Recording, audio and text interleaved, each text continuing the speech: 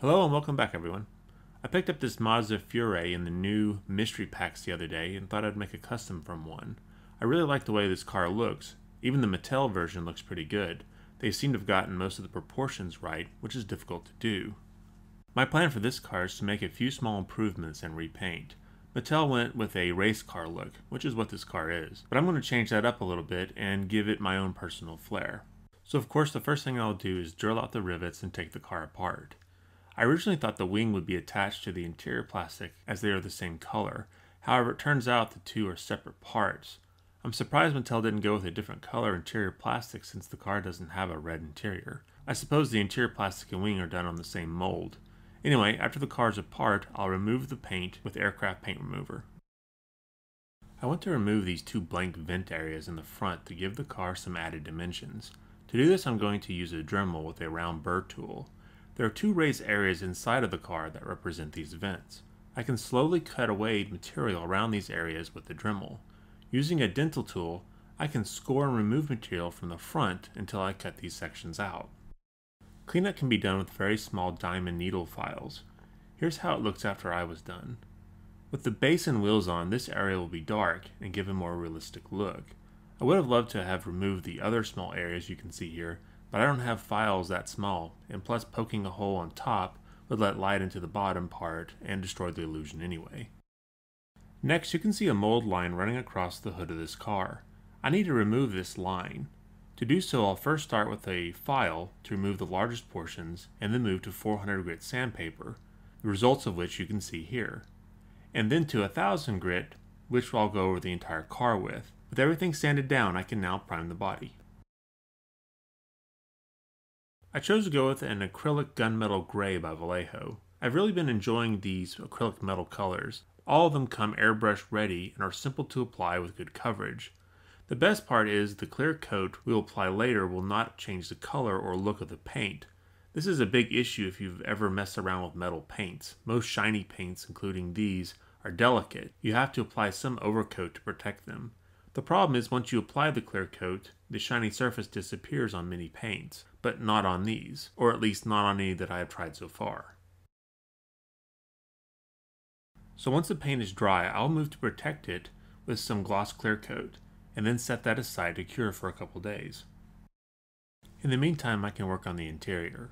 Mattel chose to go with a red color interior. I'm going to paint this black and then rub some of it off to reveal the red plastic underneath. I'll seal the interior with a matte clear coat, I want to use matte because the dash will be underneath and next to a shiny windshield and body. This gives the illusion of leather or some other material for the dash, and thus adds to the realism of the final look. For the windshield itself, I will mask off and paint a black band across the top to act as a sunscreen. While you can see it really well with this white background, it will be hardly noticeable once the car is put back together. So it's been a couple days now, and the clear coat is cured. I now want to look at applying some decals. I threw around a lot of different ideas, but settled on this dry transfer decal.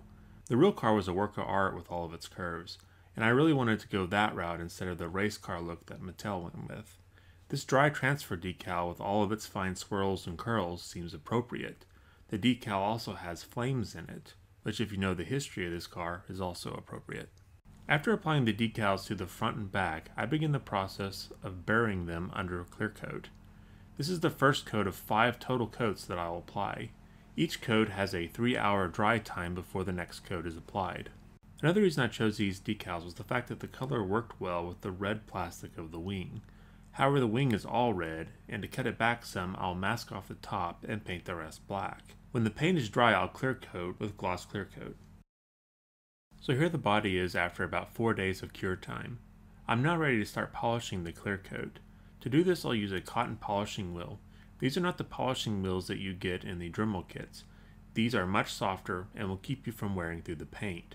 The compound I'm using is just polishing compound you buy at the auto parts store to polish the paint on a real car. The trick to this is to keep moving and to stay away from sharp edges.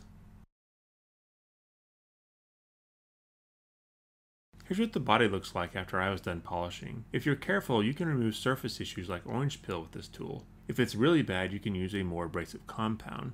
Just take care to note that you can also destroy your paint job in seconds with this tool if you're not careful.